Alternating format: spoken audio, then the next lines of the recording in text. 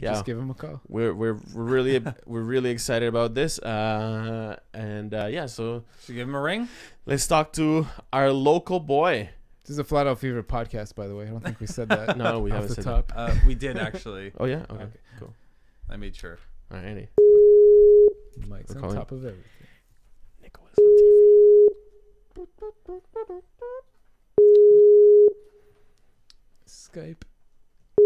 Skype is amazing. Isn't it brilliant? It's it's it's awesome. It's the future.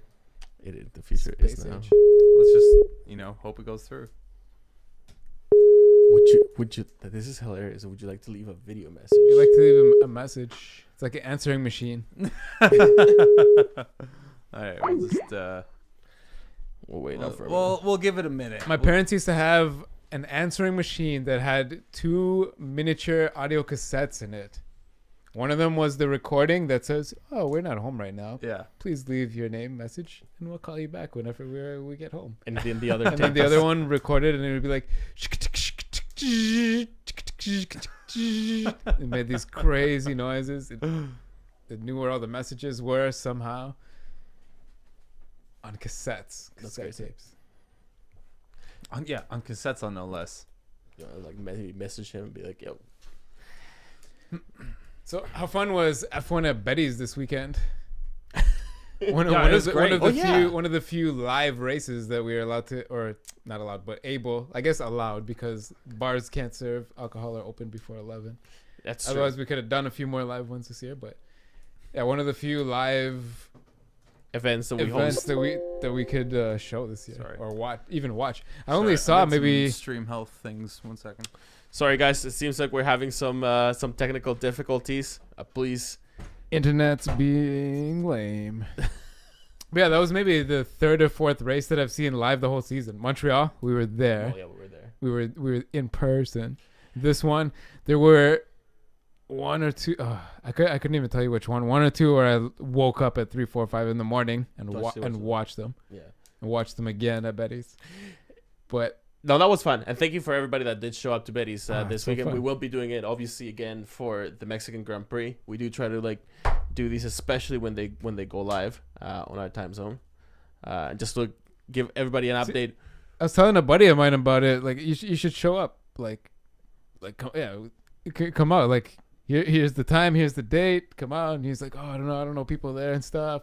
But it's it's kind of like going to the movies. Like I don't know everyone that shows up. You don't know all the people that show up. it's kind of like going to the movies, but like everyone really wants to see this movie. Mhm. You know, we're all there for the same reason. People start cheering when stuff happens. The room starts going crazy cheering. Yeah, it's fun. How we, how like we doing, Mike? Mini stadium atmosphere, almost like a movie. Sorry about that. Um, Adobe, um, uh, Adobe Creative Cloud is like a really weird program that like it constantly clocks in, Yeah, yeah, yeah, and so I left it on that computer. Oh, there we go. We're back in green. Yeah, should All be right. good to go. Other computers taking over the whole internet, Yeah, screwing around. I'm gonna try and call him again. yeah. Let's give it a shot. Tell that other computer to relax. The other over there in the living room. Hello? Hello. Hello, Nicholas Hey, guys. Latifi. Good morning, good afternoon. Hey guys, how's everybody? Very well, thank you. How are you? Doing great. How are you? Yeah, I'm all good, thanks. Can you hear me all right? Yeah, perfect. Can you can hear hear us? Yeah, I hear you guys all. Actually, awesome. hang, Okay. hang, hang in there, Nicholas. I uh, I don't think the volume is like way up for for this. I mean, I can I can hear him only faintly. that might be your thing. You should be Okay, fine. yeah, it could be fine. Nicholas, uh, uh, I am Javier, Danny? And I'm Mike. And uh, we are the hosts of the Flat Out Fever podcast, uh, podcast based in uh, your hometown of Toronto. Thank you very, very much for giving us this opportunity to chat uh, and making a break in what must be a very busy schedule. Yeah, I have a bit of uh, a bit of time off right now between my last race. So yeah, my pleasure to come on this podcast with you guys. Oh, that's awesome. Thank you very much. So cool. Yeah. Uh, so you Thank were you very just recently in Austin, Texas. Yes. How I was that? uh, yeah, so it was um, actually only the, the the second Grand Prix I've been to when I've uh, not been racing myself this year. Obviously, Mm. GP2 does does half the, the races with Formula One. Yeah.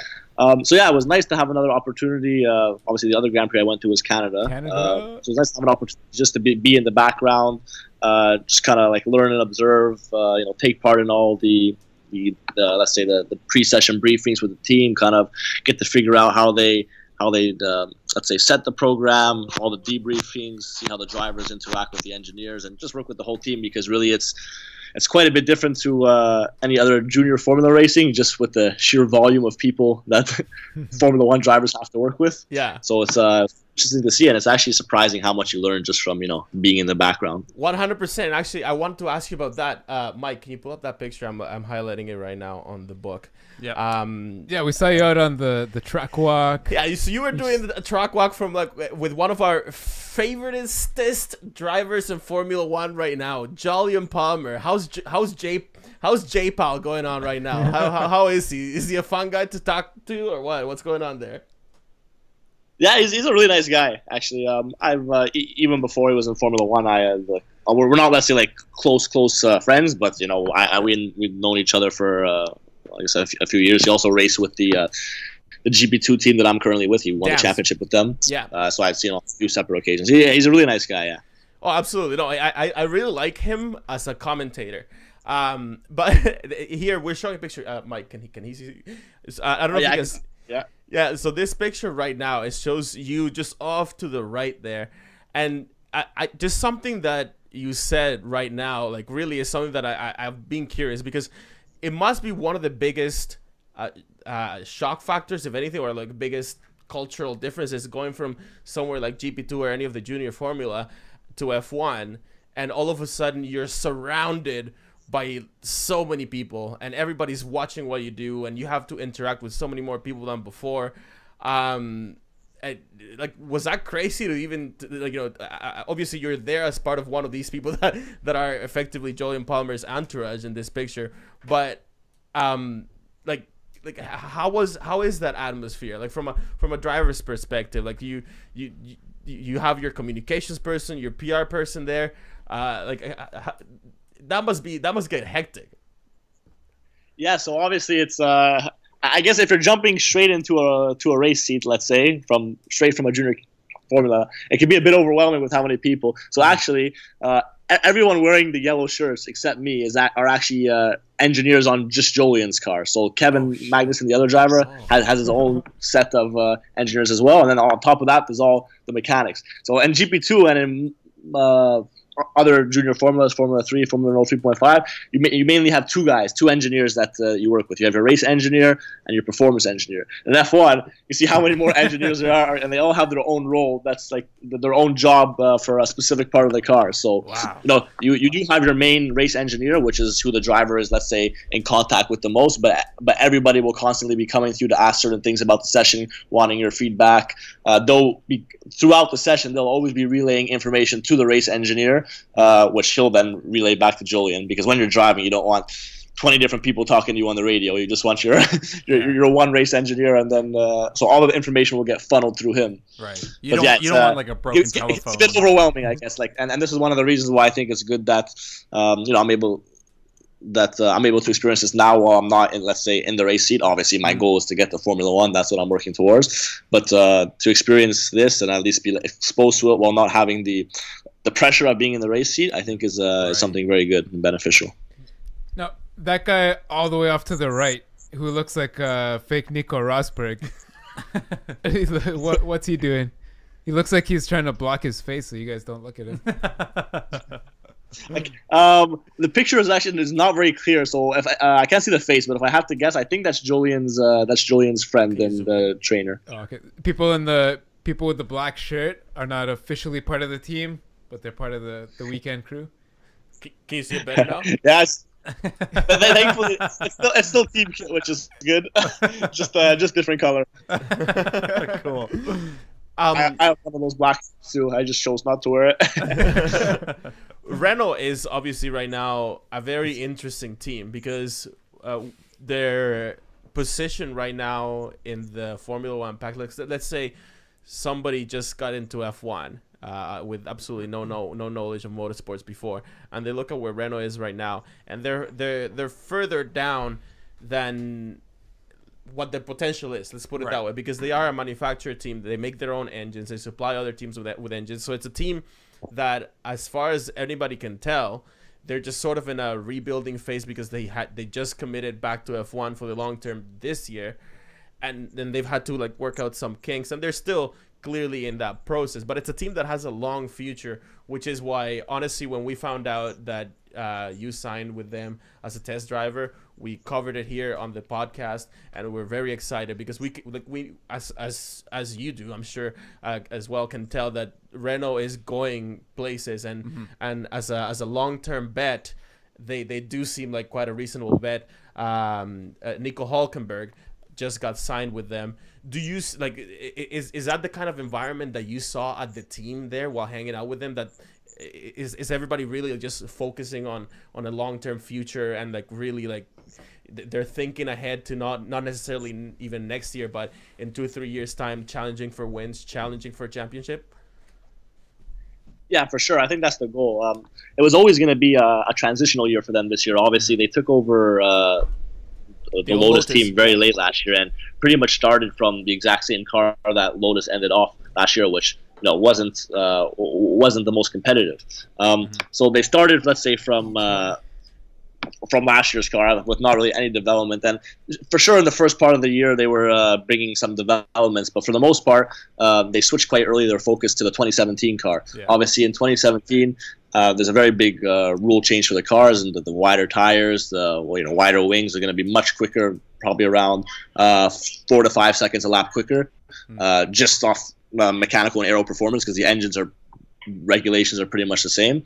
Uh, so it was always going to be a transitional year, and for sure, they're uh, uh, you know they're, a team that's going to have great potential because, like you said, they are a full manufacturer team now. They've been making en- their engines for a, uh, for a while, and now obviously when you combine both the engine making and chassis making in, house, for sure, uh, yeah, for, for, for sure, it's a big advantage. Yeah, absolutely.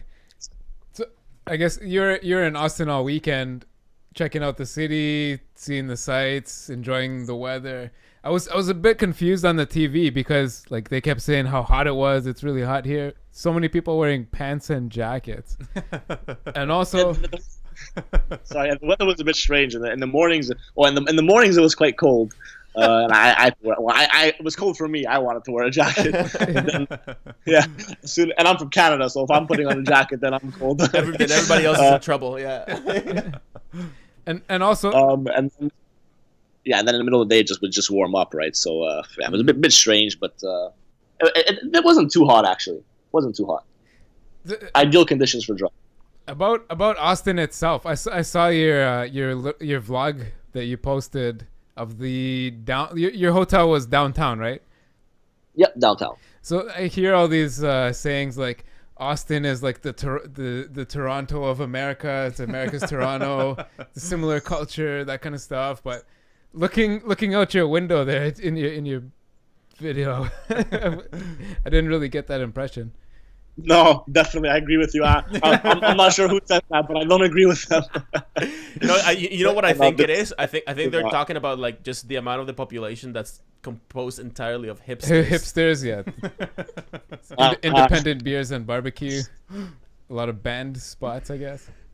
Uh, Uh, that, that, that might be true. Yeah, honestly, I didn't get to. Um, uh, I, I didn't get to explore so so much downtown. Uh, like, for the most part, they were like full days, uh, Yeah. full days at the track. Um, obviously, I kept staying downtown. Yeah, went to a right. few different uh, restaurants to eat, most of which were steakhouses, because obviously uh, in, in, in Texas, that's really Yeah. the, the only thing you can go for, and you're, you're sure you're gonna get good quality. Yeah, you don't you don't go to Texas to get a salad.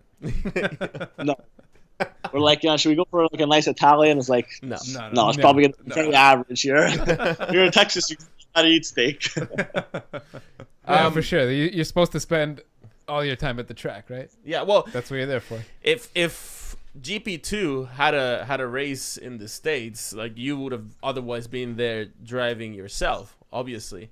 Um, and Yes. and, and but on the weekends when that does happen, and, and I I don't know if everybody is familiar with this or not, but GP2 was basically a series that was designed from the get go. After the fall of Formula 3000, uh, Bernie Ecclestone basically got uh, together with Flavio Briatore and they said, we gotta like streamline a further, like a way to get into Formula 1. And they came up with the concept of GP2 and GP3 as, as the, the, the premier The feeder, feeder series. series into F1 and and and that's why they also go together so well as as a backup series during during the events mainly in Europe and sometimes Middle East and Asia um but what is what is that like for you guys? Because you have uh in GP2 you have two races. You have that the, the, sprint race and the feature race and that is all going on at the same time as the F1 cars are going around and and and the whole circus is happening. Like what's what's that environment like, like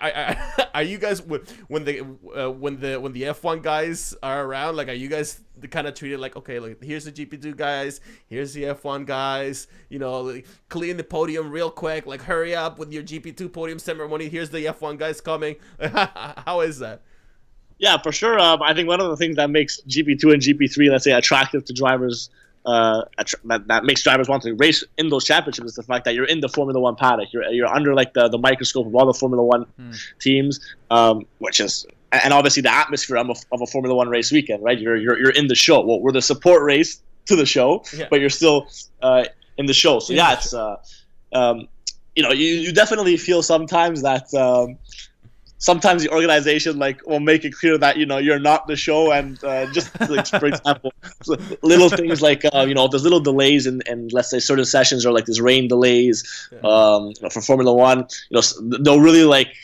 you know adjust the schedules but like sometimes they could uh, you know cancel one of our races on one day and put it the next day or, or shorten a practice depending on if there's too many. Like in malaysia for example we had 15 minutes less to practice just because of the, the scheduling. I guess there was a bunch of other support races which for me i didn't really uh, I didn't really like because I mean we're all we're going all the way to Malaysia. We already don't get a lot of track time uh, yeah in in GP2, and they shortened the practice session by 15 minutes, and we even drove a day earlier. So for me, it's like okay, we're going all this way, and you're taking practice away from us. But again, it's because Formula One is is the show, rightly so. Yeah. So uh, you, know, you, you definitely feel sometimes that you're you're there to support them. But yeah, the whole atmosphere, I have to say, it's uh, um, you know compared to the other series I raced in, I I spent uh, two, uh, two years in the FIA Formula Three European Championship, and we obviously support many of the DTM races. And DTM is you know like- the Formula One of uh, let's say GT racing, sedan racing, um, which they get some races that can get just as many people there.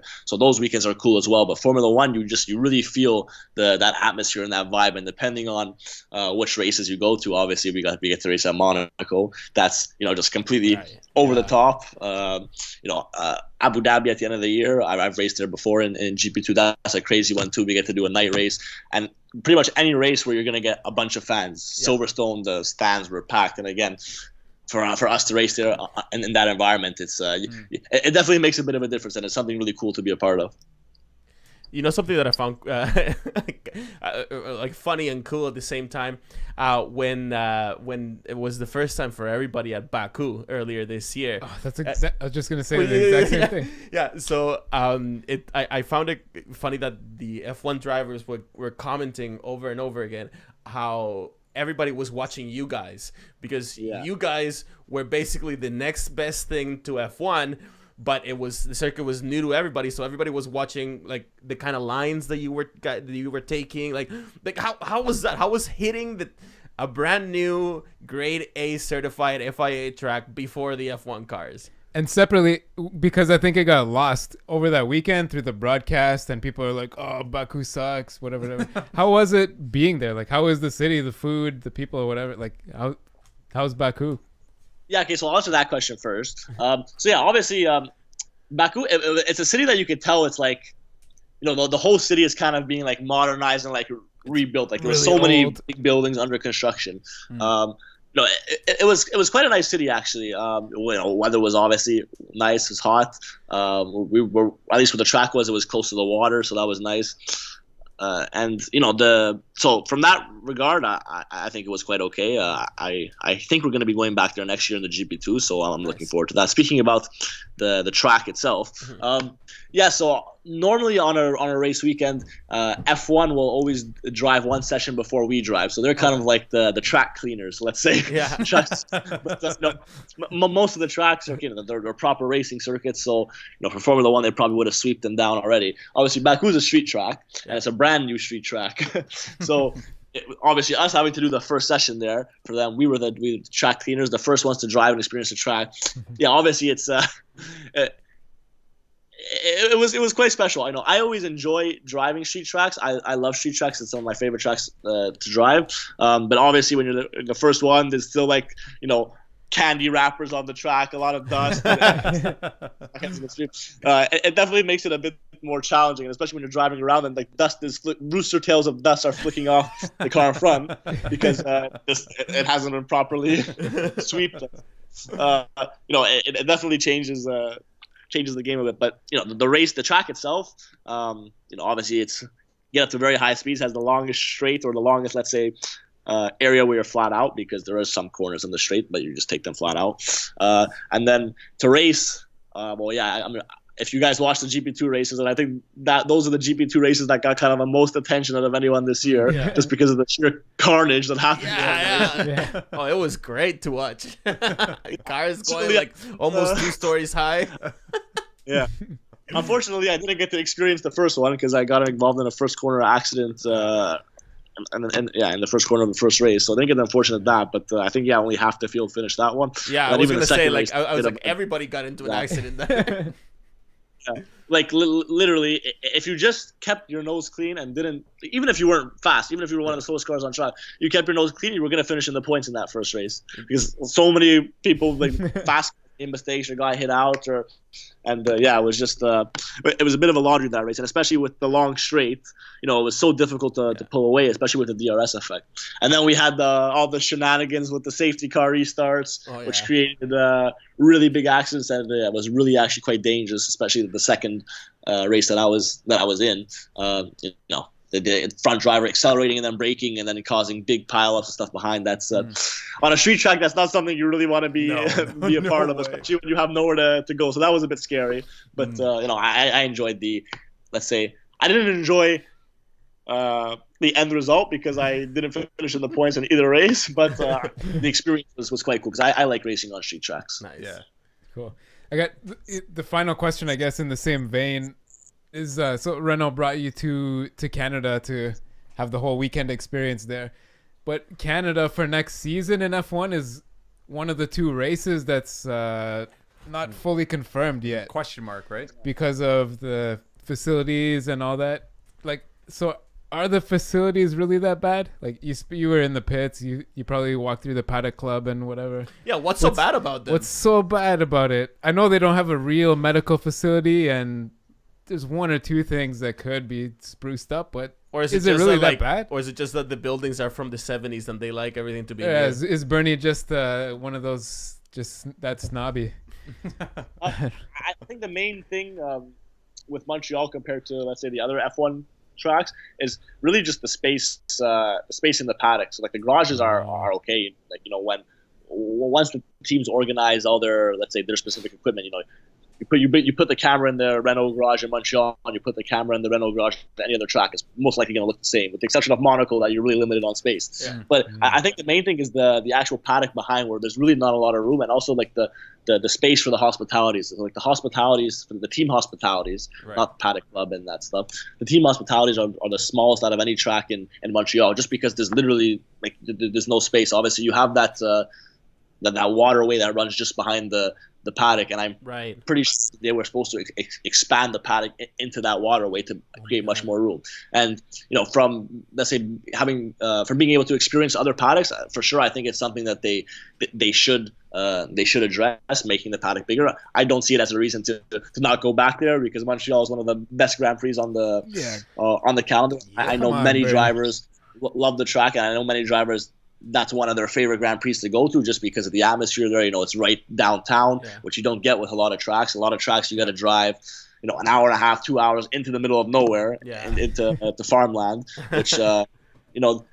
Th- it, it's not. It, it sounds nice from the outside that you get to say, "Oh yeah, I'm uh, going to go race in England," but you're not racing in London. You're racing in yeah. Silverstone, which is uh, quite a bit in the middle of nowhere.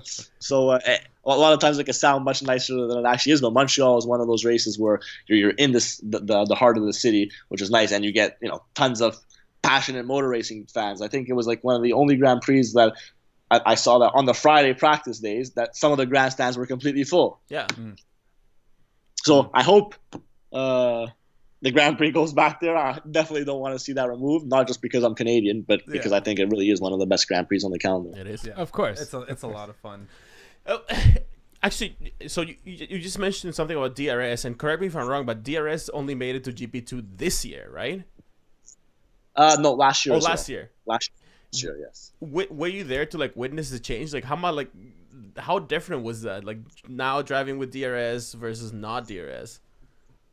So honestly, uh, in terms of lap time, uh, you know, the DRS will probably give you around maybe half a second Hmm.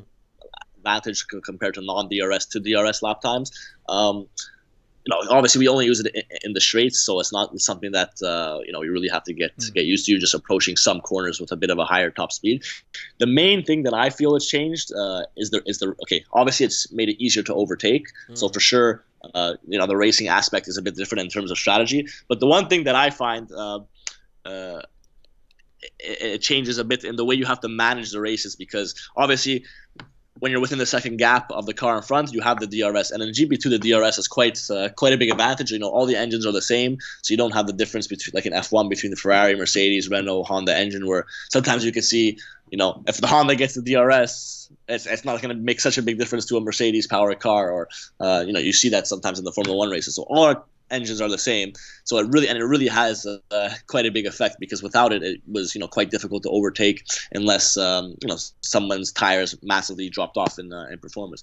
So the way you have to manage the races now is completely different because it's so effective. Most likely, if you are quicker than the car in front, even a few tenths, most likely you will pass them. Where in the past, you have to have like be like a second quicker than the guy to even have a chance of passing, just because you know, it's so difficult to pass with with these kind of uh, formula cars. So the way you manage the race right from the get go is different because you really have to push much more than you did in the past around the whole track.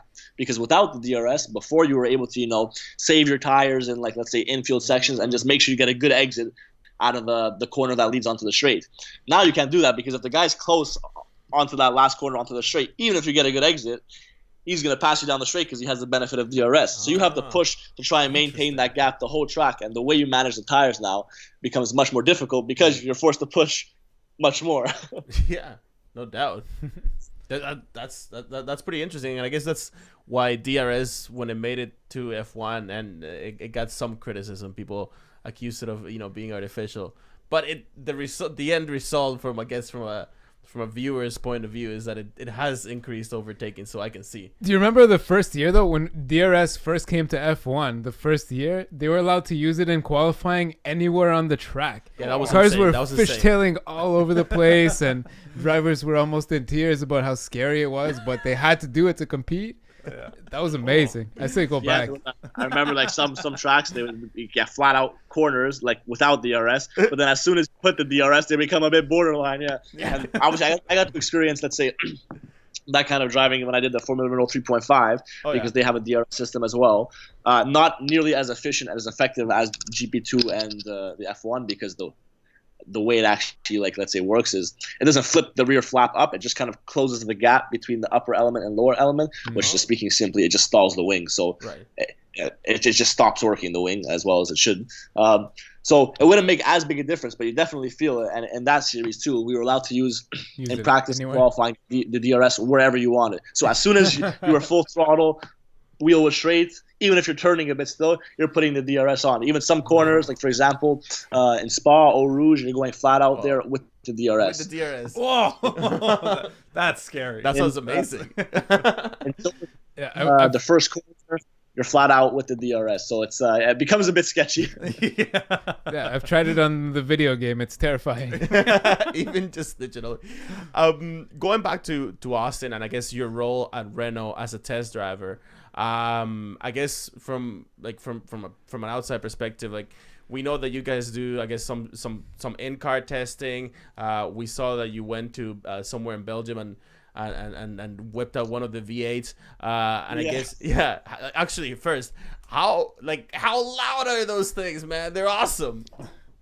Yeah, no, they're, they're amazing. It's uh, obviously I, I haven't driven one of the hybrid cars, so um, you know, the, the fact that the car I did drive was the was the V8 was was quite nice. Obviously, specifically speaking about Spa, you know, that's one of the reasons we, we brought that car was because you know we know that's what the fans like, Yeah. uh, and, and you know the proper test days that I have done with the team, they've been in that car, so for sure it's it's something nice to drive, um, and it's you know more similar to, to the GP2 car because now the GP2 cars are louder than than the the, F1, Formula yeah. One cars. Yeah. Unfortunately. Yeah, right. But yeah, so on top of, of top of that kind of stuff and like maybe some simulator work, like what kind of like you know like just just to give a, a glimpse to, to, to the fans, like what is what does it consist of? Like the job of being a test driver. Like do you, do, do you go to Enstone a- at Enstone? Enstone a lot? Yeah. Um, so yeah, the, the role is uh, is mainly to help with, with my development. So, Mm. um, like I said, I haven't driven the actual uh, current year car Right. because obviously you can't just test the car whenever you want. Mm. Uh, but uh, the, the only um, you, if you want to do a test day in a car, like I've done, you have to take uh, take a car that's two years older than the current year. Uh, so we chose to do the test days in the 2012 car. So technically, I could drive, be driving a 2014 car, which wasn't a great car for for the Lotus. I had a lot of problems, but uh, we, we chose to do it in the 2012 car. So I had done a few test days in that. So that was a big part um, of the role to help with my development, and also to give me more track time in parts. Let's say in, in, the season where uh, there's big breaks in the GP2 calendar. Like for example, in Mon in between Monza and Malaysia, I did a test day in that, which was good because it was a month break with with no driving, and that's not such a such a good thing, especially in GP2 when you're already limited and don't have a lot of track time. Besides that, um, yeah, I've spent some time uh, at Enstone, uh, especially at the beginning of the year. I have another uh, session coming up uh, for some simulator, um, and that's just you know helping the team a bit with anything they, they want to test. Most of the time on the simulator, they'll be doing a lot of let's say correlation um, running, which basically they'll they'll try something in the, uh, they'll have something they try on the car in real life, whether it's a setup change or a, or, or a new suspension system, what, what have you, and then they'll try it on the simulator, and they want to make sure they kind of get similar data, similar readings, because if you do that, then you know you know the correlation is good, and you you, have more confidence to test things on the simulator and know that it's what result it's going to have on the real car. So that's something quite important. Um, and then also, yeah, like I did in Austin, like I did in Montreal, I've gotten to go to a few races, and it's just an opportunity for me to learn. Uh, learn and be in the background and see how you know a Formula One team operates, what's expected of the drivers, how they interact with the engineers, uh, and vice versa. Because again, it really is. You know, I, I, said it before, but it really is a completely different world yeah. to uh, to GP2. So again, all, all, these things just to help, let's say, further my development is is, is the main, let's say, uh, thing that comes with my test driver role. That's really exciting. I just wanted to say, like, the, uh, it's really exciting for you, obviously, right? Because I, I feel like when people think of testing, it's like one of these things, like, oh no, you're testing new equipment or like new specs for a car or something like that. But to me, like as someone who's no, new to Formula One and the whole world that it is, uh, I think that's really exciting. Sorry. Yeah, for sure, exciting, and yeah, it's a it's a good opportunity for me. Uh, I know you said at the beginning of the the podcast that you know it's a it's a full manufacturer team, and it's a team that has you know a lot of racing uh, pedigree and you know has a great history in the sport. So to be um, not only just with a Formula One team, but a Formula One team like Renault that has this history for sure is right. uh, is something quite special as well. Uh, on, on that same line, like we always hear a lot of questions for for drivers and stuff like, what's your physical regimen like? What what are you eating in the at night? Like how far do you have to jog? How much weight can you lift?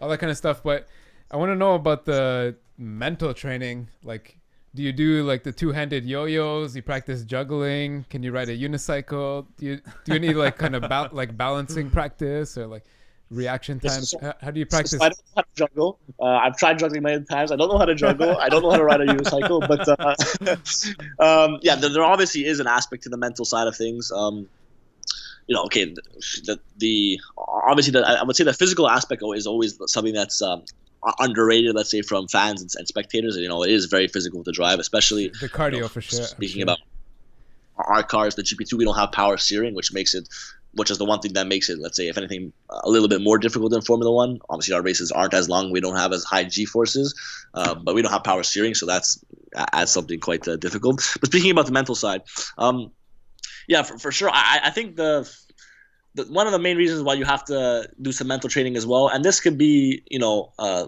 you know, mental exercises or like little like cognitive games that you know you you could do like computer games or depending on um, you know where I, I, used to train in the first half of the year um, in the Pyrenees Mountains. There was a trainer I was working with, and he had a center up uh, up there, and there was many many tools we use Uh, some are some are secrets, so I can't mention. uh, but m- m- many tools to you know train your, your you know your focus uh, over long periods of time, your concentration. Obviously, reaction is a big thing. You know, there's many of those. Let's say uh, reaction light systems where you know you're just hitting lights as quick as you mm-hmm. can, and just trying to in- incorporate a bunch of different things. You know, multitasking, memory, while you're still uh, taking part in and let's say physical exercise and, and stressing yourself physically because you know that's what racing is. You know you're you're exerting yourself physically because you're driving but there's many other things you have to manage at the same time while not hindering your, your driving performance. And obviously that becomes more crucial in Formula One, especially when you see one of the steering wheels they have to work with oh that God. comes with like a, a 300 page manual.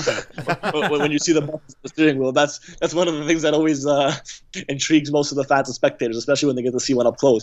They're like, "Is that really the steering wheel? Like this looks like a like a video game controller." uh, so uh, so yeah, for, for sure it becomes uh, much more important uh, when you're in Formula One, but it already is very important now, and especially that again we, we can't drive as much as uh, as much as we like. That's the one uh, let's say downside to uh, to motor racing and especially motor racing at a very high level is the one way you improve anything, whether it's a sport, a skill you want to do, is you mm-hmm. practice, right? The only way you can improve something is if you practice it. This is the one sport where practice is limited and restricted, which is uh, unfortunate. So because of that, it becomes that much more important to be mentally sharp and, um, you know, do things that even if it's not actual driving, uh, can help you stay sharp and, and ready that when you do jump back in the car, it's as close as you as you can to, let's say, not have ever been out of a car like for example, I just went uh, uh, this morning. I went karting. I have a KZ shifter cart. Uh, I went karting this morning just to, to stay sharp here in Toronto. A bit cold. Uh, I'll actually I went up to, to Innisfil. So oh, oh nice, a bit, right on. A, a, bit cold, but uh, yeah, it was. Uh, gotta have a big break in between the, the schedule, so uh, you know, just something to try and if, keep the race. If you didn't know, sharp. Centennial Park's got Toonie laps on Tuesdays. I'm sure. I'm sure you've been there before. um, uh, so you're so you're back in town now. Is that, so? Uh, I, I guess it, it, must be hard for you because to compete in Europe all the time, like, um, so you probably have like a base in Europe that you spend most of the actual year at, right? Yeah, so I have a place in the in the UK in Battersea, so where they have the Formula E race. It's quite close to the center of London. Um, honestly, this year I haven't spent so much time there. reason being is because you know the team I race for is based in France in, in Le Mans, oh, yeah. where they have the 24 hour race. Uh, so before each each race, I'm obviously spending time there. You know, in the summertime Damn. when the was the European F1 races, they were all crammed into a very short amount of time. So it was a lot of back and forth between races uh, and and the team shop. Mm-hmm. Um, where I was doing my training in the first half of the year was also in France in the Pyrenees Mountains. Um, and when I when there is a really big break in the schedule, like there is now, I like to come come home because I prefer to be um, on this side of the pond than yeah. uh, than uh, than over in, in Europe. Um, so, and in the previous years, I did race for a British team, so that's one of the reasons why I had a place mm. in the UK. But it still is my European base. Uh, but yeah, I definitely like to to come home uh, as much as possible. So out, outside of family and all, and you know the other obvious stuff, like like what what what's another thing that you miss about Canada when you're out there? Um, the, the main thing that when I come back to Canada is I just try and like um, just try to live like let's say more of like a I'm not, I'm not going to say a normal life, but do things that, I, that, that, let's say I, I can't really do when I'm you know over there. Mm. Um, like like just getting together with friends, going out on the weekends if I'm not racing. Obviously, I still stick to a very rigorous uh, training program, physical training program, and like I said, I do try and uh, keep active with driving various things, whether it's some simulator driving, go karting, things like that. One of the things I also miss too. Uh, thankfully, this sport is played in the winter, and that's when I'm home the most. is my basketball. I love my basketball. I love my NBA. Oh, nice. I love going to nice. the games. uh, unfortunately, this when when the playoffs start is normally when the season st- uh, the racing season starts and picks back up. So yeah. I always end up missing uh, the most exciting part. Huge basketball fan. Uh, love to go to as many games as possible. Oh, so you're you must be excited because the Raps are actually doing so great. Finally doing well. Yeah. Yeah. Uh, I'm not going to the season opener tomorrow, unfortunately, but I'm going to be at Friday's uh, Cavs game, which I'm looking forward to. And I'm unfortunately I'm not here for the Golden State Warriors game. So again, just a sacrifice I gotta do with my racing. I'm not gonna be here, so missing that game. going going back to the the racing a little bit something i've always wondered you answered the, or you mentioned this like an answer or two back about the power steering so if you could like for the listeners or for, for myself compare the power steering. You don't have any power steering in gp2 formula one has power steering. So i've driven before uh, like a honda civic with the power steering disconnected. And on the opposite end of the scale like i've played like a video game steering wheel with no power steering. So where would you rank like a f1 car? Because you can see on video F- the f1 drivers get some kind of feedback through the wheel like there's some kind of force there but is it close to zero how heavy is the wheel and how heavy, heavy is the gp2 wheel Okay, so speaking about a, a Formula One car, yeah, obviously there's the power steering, so it's electronically a bit uh, assisted. Um, Yeah. You can, um, well, some teams uh, at least, I know, um, they, they play around with that because you do want some resistance You want- in the yeah. wheel. You don't. You don't want that. It's like you know you could just like turn it with one finger and like blow on the wheel and it's gonna turn because obviously the main thing you lose with that is the feeling of the car because you know when you play let's say uh, video games if you just use a simulator uh, uh, sorry a simple you know Logitech steering wheel or a- any kind of basic wheel you get to play uh, PlayStation or iRacing Xbox game something like that you know the, the main way you feel the car is the vibration through the steering wheel Right. uh, it's really the only way you can feel the car, and that obviously in real life too plays uh, plays a big part in how you feel the car and how you react in correct snaps of oversteer and things like that. Obviously, we feel the car through our butts, through our uh, that are like pretty much sitting on the, the floor of the car, so you feel Yeah. like that too. But when that's one of the things that you that you lose. Let that, let's say it's a sensation that you lose when you go from a non-power steering to a, a power steering car is uh, that let's say that, feeling and knowing ex- exactly what when the car is going to snap you do kind of feel it but it takes a bit more time to get used to. And that's for me is one of the biggest differences in stepping from the gp2 to the to the f1 car.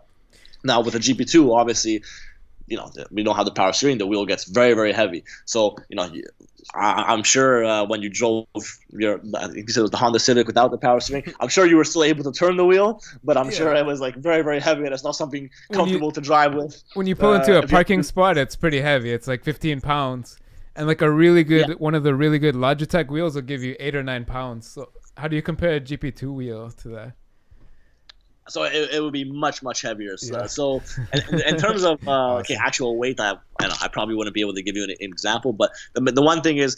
You know the the weight of the wheel will obviously change depending on the kind of How- corner you're going through. Because in a slow speed corner, you have no aerodynamic load on the car, so the wheel is still heavy, but it's let's say as light as it's going to get. Whereas when you go through a high speed corner, when the the aerodynamics of the car are making thousands of pounds of downforce that are pressing the car into the ground, the tires are getting forced into the ground, and you're having to turn that. So in the, the the faster corner you go through, the much heavier the wheel gets. Especially when you if you add elevation change, let's say like Eau Rouge, when you hit the compression in, in Spa and you're going up the hill, it's a flat out corner, very very steep uphill. The wheel is probably the heaviest there out of any other track that uh, that we drive, and uh, you know over an hour long race, it's uh, it becomes uh, quite challenging. sounds amazing you're giving me goosebumps awesome Oh, anyway, man. Uh, I, geez, uh, all, all of a sudden I just looked and we've taken up a lot of your time, and, and thanks for staying with us. I know that when we Alright, talk, yeah, when we talk to your guys, I guess we we, we really only uh, committed to half an hour, but it's been past that. Well, I, I, I guess one thing that I did um, want to ask you is now looking forward to the rest of the year. Uh, you have one more race coming up, and like you mentioned before, that's so that's gonna be at the at, it's bo- both seasons, the F1 season and and the GP2 season are gonna end up at the same time. We're pretty much heading towards one of the most contested uh, championships in Formula One. It might not get decided till then. Uh, you're gonna be there. It's gonna be a great party, but you're also gonna have to to to, to show something because it's gonna be the last race.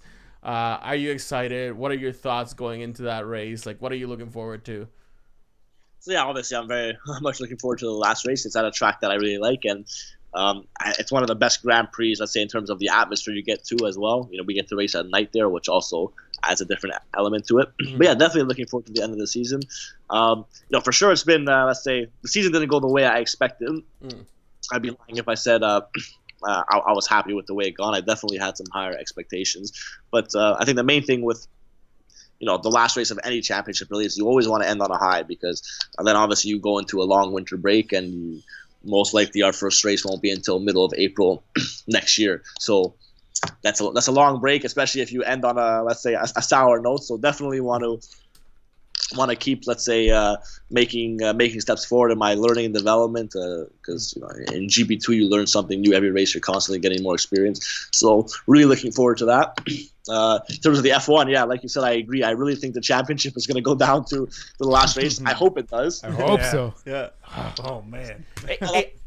you don't like to see the championship get decided a few races before the end because No. then it kind of takes away the, the a bit of the excitement in the closing races.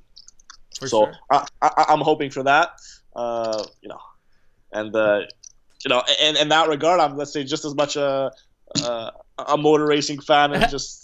I, I, I want the same thing as any other normal spectator because you know I, I'm not racing. I, I want an exciting battle down to the end. I want to be on the edge of my seat too, being like, oh my god, like who, who's gonna win this? And then obviously it's something that uh, you know uh, always when I see uh, let's say the the champion crowned at the end of the the year, or maybe it's not at the end of the year, maybe it's during a race. You know, it's something that you know gives me more motivation because obviously that's what I'm working towards. That's what uh, that's what my dream is, and that's what I've dedicated a good chunk of my my life to. So that's uh, also something I'm looking forward to to see the the celebrations. Cool. Uh, actually, well, uh, quick question. So you, when you're at uh, racing at the same time that F1 is racing, and then whatever you get, um, y- you finish your race and uh, and, and you go somewhere like, like what what do you do? Like where do you hang out to like actually watch the F1 races? Like with the so with your uh, badge as a competitor, like do they give you like pretty much the same access as anybody else? Can you just pretty much go anywhere and watch the race? Um, no, so actually, with our uh, let's say GP2 passes, uh, you know, our paddock passes are different. It's not the same paddock uh, as the Formula One, so it's Oh. different areas. So actually, we can't. Our passes don't allow us to go in the grandstands and anything because that's a separate ticket, like a ticket like a normal spectator would buy. Yeah. So actually, um, a lot of times it happens where if we want to watch the race and we just have our GP2 paddock pass, you're at the track, but you're literally just watching the race on TV in the GP2 hospitality. Oh yeah. So more often than not, and, I, and I've done it before. And you know, it's it's not such a good thing, let's say, to to admit this or say this, but you know, sometimes the races are better to watch on TV because you you hear the commentator Oh yeah. and, and, and you see everything, right? So as much as as nice as it is to you know actually see the cars going around, especially if you know, okay, you know if it's your first Formula One race. Yeah, I've seen the Yeah. cars going around many times. Uh, and in all honesty, as a fan, sometimes I prefer to watch it on TV because you get to see Yeah. more the whole race and understand what's going on. So a lot of times, uh, if I'm not flying out of the race Sunday night, which I won't be uh, in Abu Dhabi, I'm probably going to go back to my hotel and watch the race on the TV there. That's sweet. I was, I was just my gonna. hotel's going to be right across from the tracks, like a two minute walk. So it's not like I'm just saying, okay, I'm done with my day. I don't care about Formula One. Let's go. I'm, I'm still going to be able to hear the cars. yeah. I was just gonna ask, but I guess you said it. You're gonna be in Abu Dhabi, right? yes, I'm going to be uh, be in Abu Dhabi, and then obviously, um, you know, our, our postseason testing uh, takes place the week after the race. So, uh, so I will be staying uh, for another week So you, after the you mentioned like ob- obviously you don't get to drive the current year's car during the season because they need it for races and stuff. But what do you think about the idea of post Abu Dhabi, all test and development drivers race in Abu Dhabi With the current spec It- car. it- with the current spec Car. car? Yeah, the drive the F1 drivers get out at the podium ceremony, whatever, whatever. Immediate second race with the test and development drivers, current cars. I, I think we need to uh, propose that idea to Bernie. Let's, let's call him up after the show. yeah, that's someone's number. Where do I? s- Just send the idea over. I'm all. Man.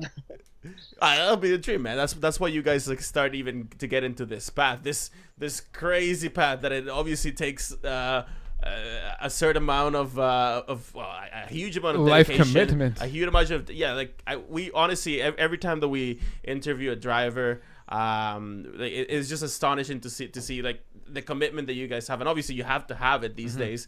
Um, but it, there's as far as I can tell in terms of having like a normal life, you guys don't have much time for that. And and just just like you said that you, you you come to Toronto, you just try to do normal people stuff because your life outside of it is just so the opposite of that, which is great. um, it, it, I I guess another thing is uh so after this year's done, uh, you're looking to go back to uh, to GP two, keep uh, I guess working on some skills, and then hopefully look forward to a future in F one. By then, I'm sure Renault would have, uh, if anything, like you know, especially with with the fact that we're not gonna have any more tokens next year, we everybody's expecting to see a very competitive Renault. The seats that do become available when they become available are gonna be highly contested.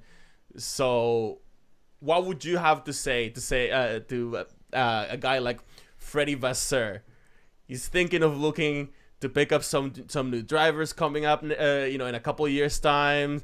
He he knows you, but he but there's other people knocking on his door. What would you say to making sure that you're the guy that makes it to F1 instead of somebody else?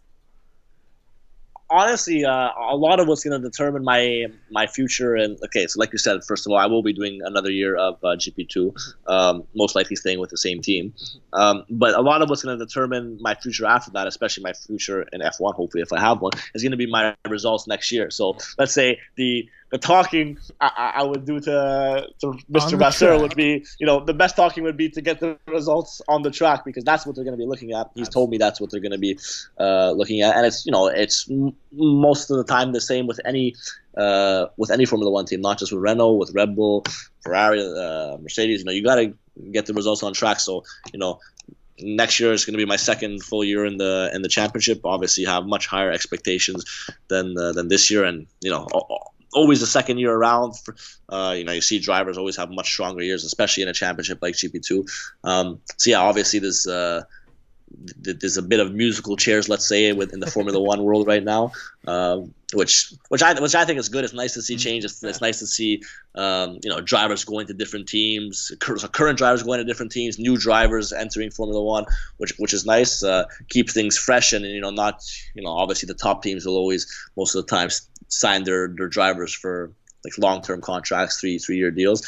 So I, I, think that's good for, for the excitement of Formula One and also for junior drivers like myself trying to get into the sport because you know it gives you, let's say, uh, it creates opportunities if you know there's always you know drivers getting signed to one-year contracts and it really puts the pressure on everyone to try and be at their best and perform at their best, whether you're in GP2, any other category, or in Formula One, because you know your seat can always constantly be at risk because there's always going to be somebody coming through that's going to be working just as hard, if not harder, to try and kick you out of your seat and then show them what they're capable of. Yeah.